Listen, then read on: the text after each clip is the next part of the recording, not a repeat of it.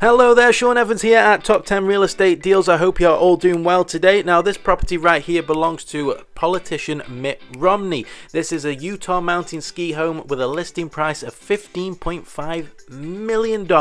Now, the life of a politician, past or present, must be a stressful one indeed, but owning a house like this surely makes a relaxing getaway all the sweeter. This 12,063 square foot property is a snow covered oasis. Six bedrooms and nine bathrooms. This this estate was designed by architect Fred Babcock as an exclusive family compound.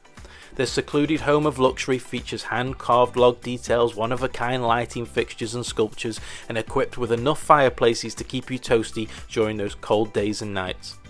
The property comes with an indoor hot tub and sauna, outdoor hot tub and pool, entertainment rooms, and 16 acres of forest to wake up to every single morning with open space surrounding you as far as the eye can see and with beautiful views from almost every single room in the house, you can gaze upon the local wildlife of moose, elk and deer passing by your window.